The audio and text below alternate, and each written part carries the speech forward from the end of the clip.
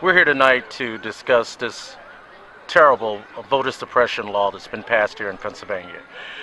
The NAACP has taken a position of opposition uh, against this law because we feel that it is suppressive.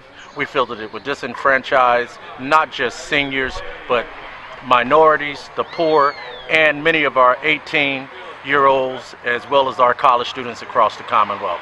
We feel that this is strategic, it's well funded, and targeted to disenfranchise voters. The NAACP, along with its two partners, the ACLU and the Women League of Voters, we have sued the state of Pennsylvania, Governor Corbett, and the Secretary of State in reference to this law.